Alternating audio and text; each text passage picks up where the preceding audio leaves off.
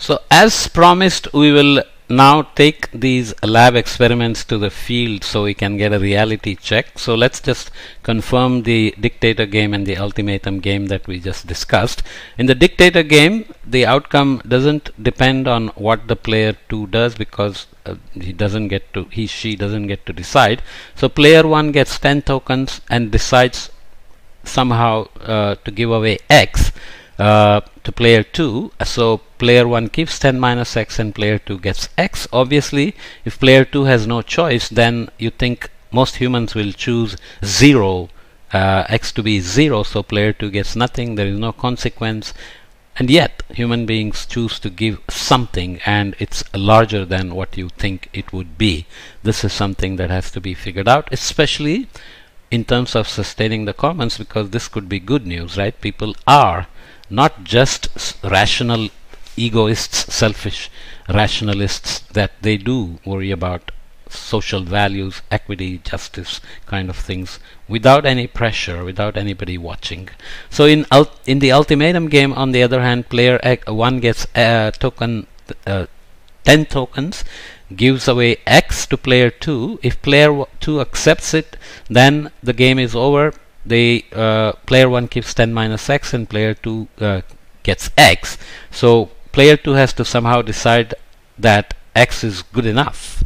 Uh, and there is no communication between them and it only happens once. They don't know each other. So you know player 2 is making a decision well I'm happy to get something or that this is not enough not worth keeping. So I would rather not get anything and so on and so forth and in the second uh, option you have uh, player 2 rejecting the offer of X and then neither one gets anything. So player 1 has the motivation to give just enough hoping that player 2 will accept knowing that this only uh, happens once. So it better not be very small amount but how big has it to, does it have to be to uh, expect that player 2 will accept the offer. So it's kind of nice experiment, right? So here is Joseph Heinrich, an anthropologist in the field. Uh, looks like our neighborhood here. Uh, this flag is probably uh, Nepal, Bangladesh, something. I won't bother. But bringing the lab to the field, how general are the findings of the experiments performed with undergraduate students at uh, American and European universities? Do these decisions represent the entire population, or are they just artifacts of a Western cultural heritage? Anthropologist Joseph Heinrich started to perform ultimatum experiments in the Amazon with communities who have not had many interactions with Western societies, so they are not playing any rationalist, egoist games by learning. They are just doing what is intrinsic to their culture and their uh, values. So that's here. Do also oh, that's the Amazon uh, maybe. Okay. Doing such experiments is very challenging. One has to work with a population who might not read or write, who may not use money or possibly speak a rare language that you don't speak. Furthermore, field experiments are not conducive to computer-based experiments like those performed in the laboratories as discussed previously. So in the field experiments are translated into local language. If money is not relevant to the community so there is nothing they they can spend on so they only barter and exchange things. Then rewards will uh, have to be given in physical objects such as food items. Experiments are performed with pencil and paper or physical objects so you use sticks and so on.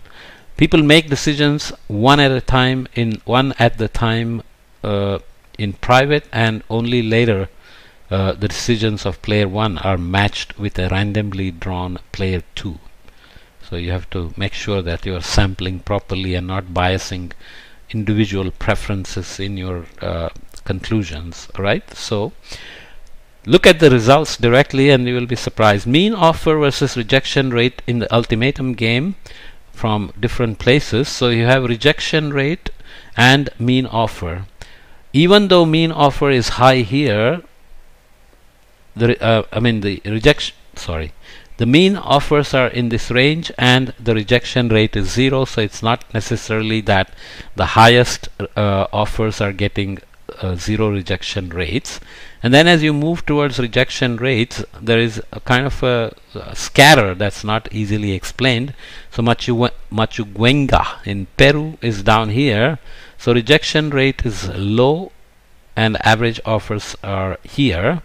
And other places, Papua New Guinea are scattered all over the place. So rejection rates are here or here so reject the rejection rate is higher here even though offer is higher than here so what is it that relates the rejection rate to the offer it turns out that this is dependent on complicated behaviors uh, like uh, not having a market where they get their calories. Let's say you are using uh, food as uh, the uh, offer from player 1 to player 2 and player 2 is not buying anything from the market so doesn't have a sense of what is a good offer and what is a bad offer.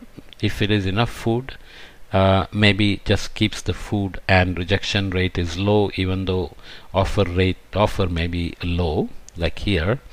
And even if the offer is high rejection may be high because there are uh, ideas of gifts that there are some communities apparently where uh, if you get something you are expected to gift something to the other person even though you don't know the person so when you get something you are not sure how you would gift back.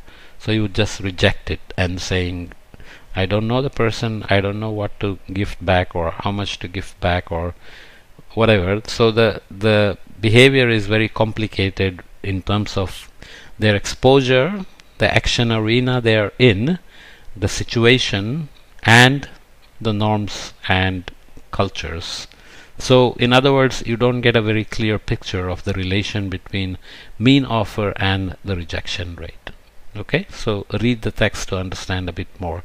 The mean dictator game where the second person has no option but but to take whatever your main question will be why would a player 1 give anything to player 2 when he or she can get away by giving nothing because player 2 has to accept whatever is given or not given player 1 keeps whatever remains right so mean dicta dictator game offers in terms of the percentage of stake given the endowment what percentage of the endowment is given away and that depends on market integration so percentage of purchased calorie in diet. So somehow it is related to buying things and the action arena that comes with that and the action situations you have ex experience and the internal evaluation you have made and you have the uh, you know how you decide how much of the resource you are going to uh, spend on these things and what you are going to accept as an offer. So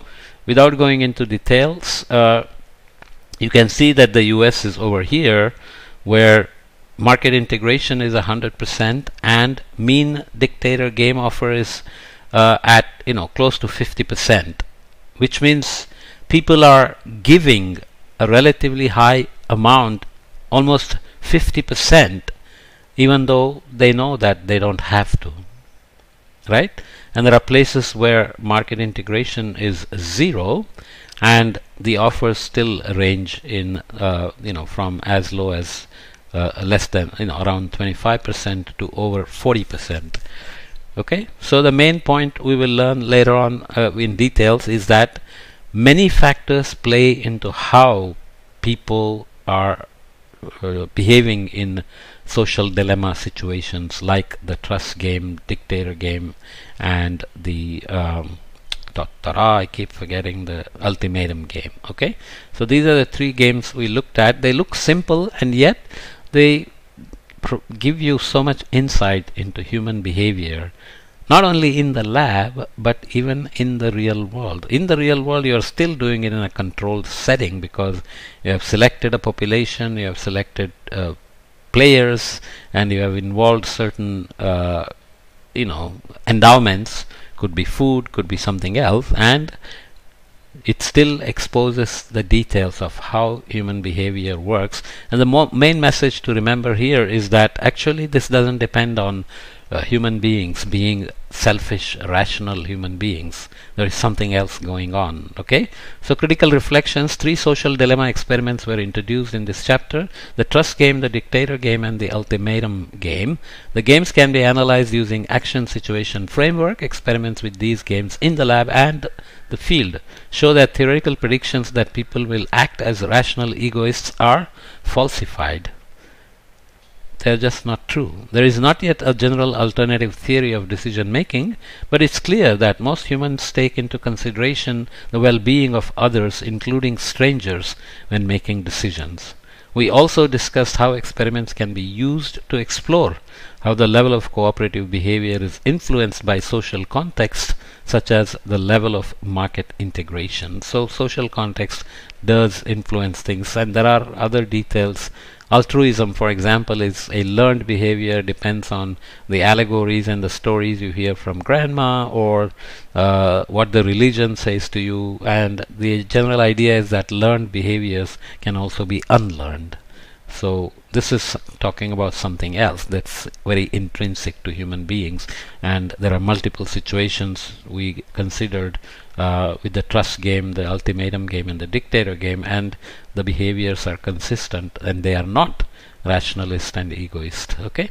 So think for yourself what do you ex uh, expect will happen if two bankers play the ultimatum game okay if one bank makes an offer to the other bank and uh, if the other bank rejects the offer nobody gets anything and so on. So why is it important to think of bankers? Because bankers take the money and try to make as much money from it as possible as well right?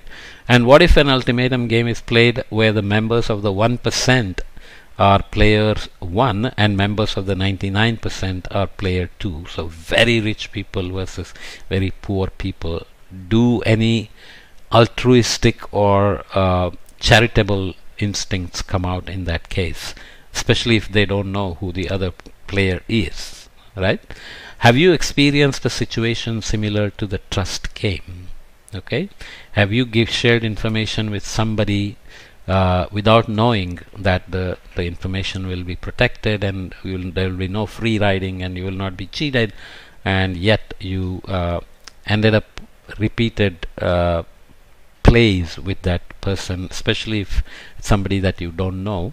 Obviously, it's about the example of airline tickets that I mentioned, online shopping we do with Amazon or whatever. You know, all sorts of uh, situations are there. So just think about those and see what your own behavior is like. What would you do in a trust game or an ultimatum game or a dictator game?